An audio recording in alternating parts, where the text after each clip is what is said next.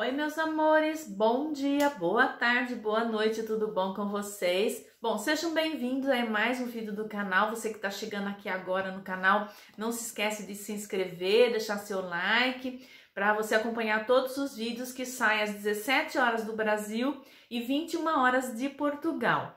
Bom, eu comprei para quem está acompanhando já o canal, viu que eu comprei essa argila verde. Aqui, ó, Marisa Gonçalves, não esqueci da argila não, viu? Hoje eu vou finalmente fazer a máscara da argila. Eu comprei essa argila aqui na Naturitas e é para fazer máscara com ela, porque a argila é fantástica para tudo.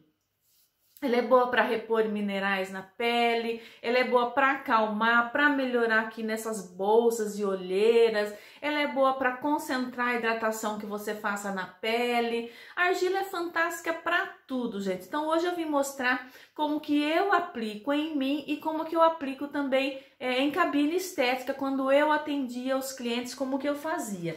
Bom, eu tinha procurado aqui em Portugal uma gaze para fazer esse essa aplicação e eu não achava gaze de jeito nenhum. E aí acabei que eu procurei, tava olhando debaixo aqui do do limpando o armarinho do banheiro e aqui tem uma caixinha de primeiros socorros que os proprietários deixam para os hóspedes, né? Que o, todo o Airbnb tem. Acabei encontrando essa daqui, olha, que ela é mais ou menos a gase parecida com a do Brasil, porque todas as gases que eu comprei eram todas fechadas. Eu vou até mostrar para vocês a outra gazezinha que eu comprei aqui na farmácia. Essa gase aqui, no final das contas, eu acabo usando só para aplicação de, de, de produtos. Porque olha o tamanho da gase e olhe como que ela vem fechadinha, quer dizer, impossível você fazer qualquer tipo de tratamento com esse tipo de gás aqui. Esse tipo de gás aqui é mesmo só para fazer aí curativos e, e aí eu tô usando para aplicar coisa no rosto, né? Porque não é realmente a gase que eu procurava, que eu tinha, que eu encontrava no Brasil para fazer esses tratamentos. Então eu vou usar essa gase aqui, que na verdade não é uma gase, ela tem até um pouco de elasticidade ela é uma compressa, né, de curativo, mas eu vou usar ela que ela vai dar também. E não encontrei outra, né, gente? Também tem que usar minha argila, né? Porque você até pode fazer direto na pele, mas aí você vai ter que lavar o rosto, vai fazer aquela sujeirada toda. Se bem que você pode fazer antes do banho e depois tomar banho e lavar na, no box, né? Mas como eu já tô, já tô de banho tomado e eu vou fazer essa máscara, eu gosto de ficar com depois só passar um filtro solar, tudo. É uma, uma forma de fazer um tratamento completo. Eu gosto de aplicar ela sobre a gaze, porque na hora de tirar, você tira de uma forma mais é, tranquila, né? Mais fácil e suja menos a pele. Então, automaticamente faz menos sujeira aí na, na hora de retirar. Então eu vou fazer dessa forma, você vê como é que eu faço, você pode optar também para fazer ela sem a gás, também dá certo. Só que daí você tem que tirar na lavando o rosto ou tomando banho, né? E sempre com água morna para fria, nunca água quente. Bom, outra coisa que eu ia falar dessa aplicação é que esta argila, que é na forma de eu aplicar essa argila aqui, que é argila verde, ela serve tanto para peles, para qualquer tipo de pele, para peles secas e para peles acneicas. Então, tanto na pele acneica quanto na pele seca, é esta forma de tratar de, de aplicar como eu vou estar tá aplicando, ela é a melhor forma que eu apliquei em todos os casos. Mas quando a pessoa tem a pele muito oleosa, tem aquela concentração de óleo que fica brilhando na pele, você fazendo ela mais líquida e aplicando com pincel, ela tem uma ação para controle de oleosidade maior do que desse, dessa forma que a gente vai estar tá fazendo. Essa forma aqui, o ideal mesmo é para cicatrização de acne, é, ela age como antibactericida, ela cura a acne, né? Lógico que o processo acneico, você tem que fazer extração das pústulas, dos comedões, é todo um trabalho além da máscara de argila. Agora, nas peles mais envelhecidas, nas peles que você quer apenas fazer uma hidratação, você pode aplicar dessa forma que eu vou aplicar aqui também, que ela dá um excelente resultado. Eu vou abaixar agora aqui para mostrar para vocês como que eu preparo a máscara e a concentração que ela fica, a textura que ela fica. Ela fica como uma massa de bolo, mais para durinha do que para mole, aí para aplicar. Mas ela não pode ser muito dura também, senão daí você não consegue fazer ela fixar na gaze, tá? Então, pera um pouquinho que eu vou preparar aqui, vocês vão ver mais ou menos aí como que você, a consistência que ela fica. Você pode fazer ela também com soro fisiológico, com água micelar, água termal, água de rosas, mas eu vou fazer ela com água filtrada só, é, que também dá um bom resultado, porque é só a própria argila mesmo, ela já tem uma ação muito benéfica na pele. Então, vou fazer com água filtrada e vou mostrar para vocês aqui, tá? Então, vou ajeitar a câmera aqui, a gente já fala. Bom, então aqui nós vamos pegar a nossa argila, vou pegar sempre com uma colher de plástico ou de pau, tá? E, e o potinho também sempre ideal que seja ou de plástico ou de madeira. Aqui nós vamos colocar para o meu rosto, eu coloco aproximadamente umas quatro colheres de sopa cheias de argila. Então, aqui nós vamos colocar mais ou menos aí umas seis, sete colherinhas dessa daqui, tá? Essa argila aqui eu não conheço, é a primeira vez que eu tô usando ela, eu não sei como é que é a textura dela, tá, gente? Eu vou preparar ela aqui devagarinho e é o primeiro teste que eu tô fazendo na argila, na argila junto com vocês. Aí agora eu vou pegar água, gente, é água filtrada mesmo, ó, tá? Água que eu bebo tá? Vou colocar água aos poucos para não ficar muito mole, tá? Então, eu vou colocando a água e vou mexendo a argila para ela ficar tipo uma massinha de bolo. E se você vê que você colocou água demais, você pode aumentar depois com argila mesmo, tá? Aí, nós vamos mexendo aqui ela até ela formar uma massa. Aqui eu já vou pegar minha espátula para mexer porque essa colherzinha é meio fraca, ela serve mesmo aí só mesmo para pegar argila seca, tá? Na verdade, é que nenhum desses produtos que eu tenho aqui é produto é profissional, né? Mesmo porque eu não achei, quando a gente acha profissional aqui é muito caro, né, gente? Aí eu improvisei, fui ali no, na casa da China, comprei essa aqui que é mais pápula de bolo mesmo. Peguei ela e falei, ah, vai ela mesmo, né? Não é para trabalho, é para mim mesma.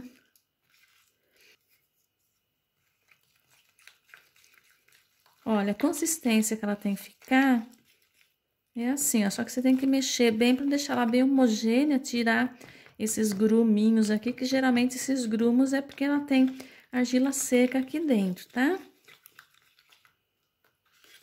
Mas a consistência é essa daqui, ó, gente. Fica que nem uma massa de bolo, só que mais durinha, tá vendo?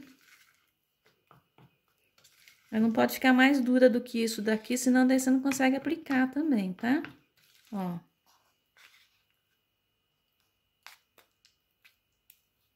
Essa é a consistência, então, que você vai fazer para aplicar a máscara no seu rosto. Ai, gente, eu tô até meio atordoada hoje, porque essa noite eu tive insônia, não dormi um segundo sequer esta noite aqui. Bom, tô usando, então, aquela água de rosas aqui, para complementar aqui a limpeza, depois eu vou fazer uma massagenzinha com um creme ou um sérum para aplicar a máscara por cima, tá? Bom, você faz a sua limpeza como você está acostumada a fazer, né? Aí no seu dia a dia, passa seus produtos que você está acostumada. Eu tô passando a, a, água de rosas porque eu comprei, achei ela bem boinha, eu tô usando ela sempre agora.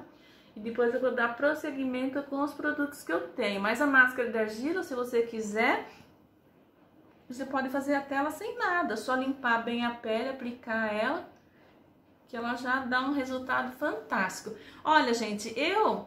É, você, se você quiser aplicar sobre os olhos também, você pode, tá? Nas pálpebras. Eu não gosto de aplicar. Uma porque ele gruda na sobrancelha, depois para limpar é complicado, tá? Então eu não gosto de usar em cima dos olhos, mas não tem nenhuma contraindicação também se você usar no total aí da pele, tá? Bom, agora que eu passei aqui a loçãozinha tônica, eu faço um, um afloramento, né? Todo tratamento que você for fazer de estética, você faz é, massagens, você faz tamborilamento, tudo para estimular a circulação daquela região, ajudar na drenagem também dos líquidos ali daquela região, tá? E tudo isso vai complementar o tratamento, tá?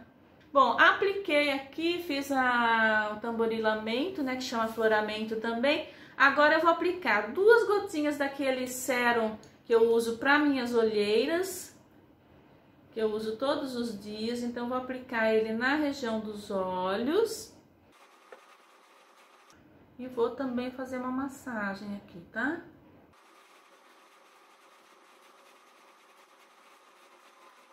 Fiz aqui a massagenzinha na região dos olhos, vou aplicar o sérum, aquele de DNA, que eu também estou usando ele todos os dias. E também vou fazer uma massagem suave. Se você achar que a sua pele está muito desidratada, você pode usar um creme mais é, concentrado. Por exemplo, no meu caso, eu tenho aqui o creme Nivea também, que eu uso bastante aqui em Portugal. Porque aqui, como a, a pele da gente acaba ressecando um pouquinho mais no frio, então eu tenho sempre o creme Nivea também aqui, o creme Nivea é fantástico, viu gente? Apesar de ser um creme antigo, mas é um creme muito bom. Então você pode fazer massagens assim, circulares mesmo, só para penetrar o creme, tá? Aqui sempre trazendo pra cá, ó.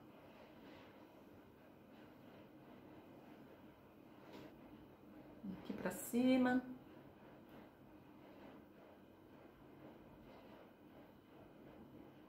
Que é gostoso a gente fazer esse tratamento que alguém faça pra gente, né? Mas se você não tem também quem faça. Bom, gente, aí agora você pode já colocar gás, que eu já deixei cortada no tamanho do meu rosto. Quando eu estou atendendo a cliente, eu acabo colocando um algodãozinho em cada olho pra ela ficar relaxada, né? Mas como aqui eu tô fazendo em mim mesma, Gente, aqui eu vou ter que olhar na, no espelho, não vai ter jeito, tá? Daí eu mostro vocês dão, vão dando uma olhadinha aqui.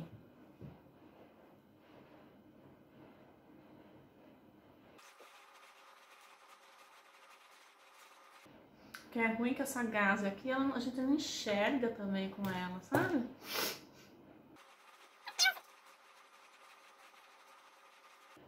Então você vê que você aplica uma quantidadezinha grossa, tá? Não pode aplicar muito fina, porque senão depois na hora de ela penetra tudo dentro da pele, fica suja do mesmo jeito a pele, tá?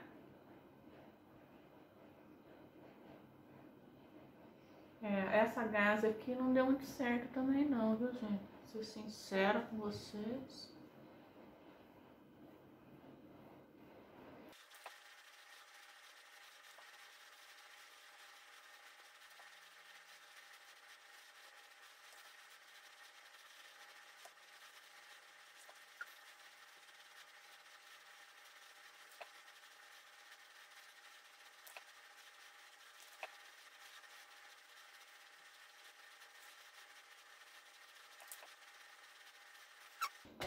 Gente, a vida como ela é, né? Não deu certo essa gás aí. Caiu tudo, caiu na minha roupa, caiu tudo.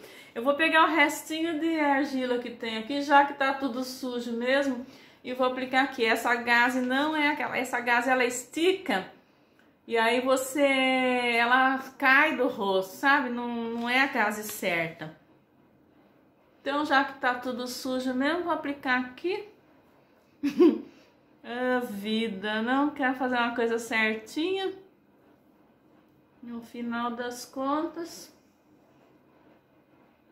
Olha só. Tristeza? Bom, quando você vai fazer assim direto na pele também, você pode até fazer.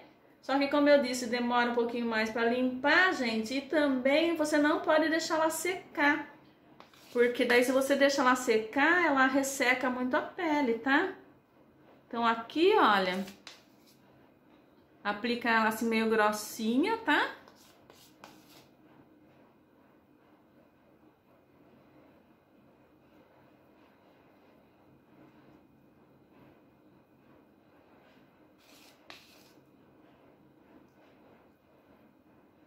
A única coisa que vai ser é que vai dar trabalho para tirar, né, gente? Não tem problema também.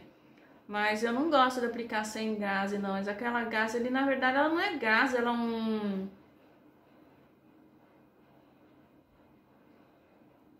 Um compressa, né?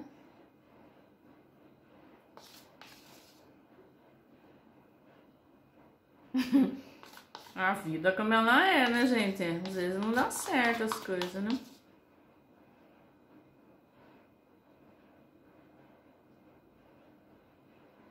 Olha, gente, você vê que ela fica grossinha, tá? E não pode deixar secar no rosto. Se você tiver um spray para você ir borrifando a água ou mesmo alguma loção aqui, água termal, tudo ela, ela é melhor, tá?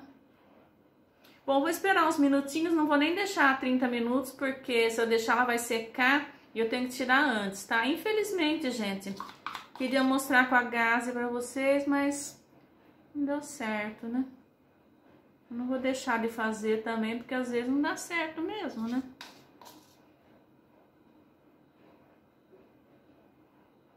Por aqui perto dessa olheira minha aqui, ó. Ver se eu diminuo essa bolsa, pelo menos, já que eu tô sujando tudo, né? Hum, os locais que estão mais sequinho, você vai me descendo, tá?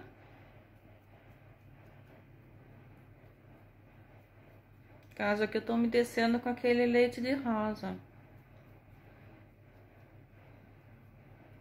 Pra não deixar secar, tá? Bom, gente, já passou aí 20 minutos, eu vou tirar, só que como eu, ó, sujei bem aqui, ó, sujou o cabelo, tudo, por causa gás que não deu certo, né? Então, pra eu tirar isso aqui na pia, vai fazer muita sujeira, o escorre pelo braço. Então, já vou tomar outro banho também, já tiro no banho e venho complementar aqui o vídeo mostrando a finalização, que vou finalizar só com filtro solar mesmo. Vocês viram que ela não secou, Aqui, ó, já tá secandinho, mas eu não deixei secar muito. Eu fui ali, umedeci, umedeci com água de rosa, depois eu fui molhei um pouquinho com água também. O importante é não deixá-la secar no rosto. Você tem que estar tá sempre com ela úmida. Se você tiver um borrifador, melhor ainda. É que eu não tinha aqui, né? Tive que improvisar. Então, realmente, aí a minha, a minha, o meu vídeo de hoje não deu muito certo, porque eu queria mostrar uma aplicação em cima da gaze e acabou que não era uma gaze, ela acabou pesando na, na compressa, e a, aí ela acabou fazendo a compressa cair, né? Então a, a, compressa não parava no rosto. A gás ela para porque ela é bem levinha, então o peso da argila segura ela na pele. A compressa não deu certo, infelizmente. Bom, vou tomar um banhozinho e volto para falar, mostrar como é que ficou a pele, tá? Bom, gente, ó, tomei um banho, tirei a máscara, ela chegou a grudar até no cabelo, gente. Vocês não acreditam lá o box, como é que ficou com aquele montoeira de argila lá. Realmente, sem a gaze, ela dá um pouco mais de trabalho, mas a pele fica muito bonita também, viu, gente? Fica macia. Agora, é só finalizar com o filtrinho solar. Apesar de que eu não gosto, por exemplo, que nem agora no banho, eu acabei jogando muita água no rosto para tirar, né, a argila, sendo que se eu aplicasse com a gás, é só levantar a gás e tirar o excesso. Mas aqui a vida como ela é, né, gente? Às vezes dá certo, às vezes não dá. Essa gase que eu tenho aqui em Portugal não é a gase adequada, porque na verdade não é nem uma gase, ela é uma compressa, né? Mas estamos aí para mostrar tudo, né? Às vezes dá certo, às vezes não dá, né? Gostaria que tivesse dado, visse o banheiro, como é que ficou desanima qualquer um a fazer, viu? Diz que quando você vai é, ser atendida no local, tudo, a pessoa faz com, com gás e tudo, porque fica muito mais fácil para limpar, né, gente? Olha, até aquela manchinha que tava mais profunda, ó. Mesmo quando eu fiz a aplicação de Skin Booster, ela já deu uma melhorada nessa mancha aqui do, dessa olheira, mas você veja que antes como é que tava e agora quanto já melhorou ali as bolsas que estavam e também o, o aspecto de cansada que estava a pele, né? Então, realmente, gente, a máscara de argila vale sempre a pena fazer, mas você já sabe que quando você faz não, não é em cima da gaze, para limpar ela é bem chatinha mesmo, mas compensa, né, gente? Porque é uma máscara barata, é um produto aí que tem bastante propriedades, né? Que tem a argila, bastante oligoelementos, que repõe minerais aí na pele. Bom, gente, então o vídeo de hoje foi esse, né? Realmente com a gás, com esta compressa aqui não deu certo, porque ela tem essa elasticidade aqui, ó, e ela não para na, na pele. Bom, espero que vocês tenham gostado aí da argila em si, porque realmente a aplicação não foi legal, né? Mas a, a pele fica bonita, viu, gente? Vale a pena.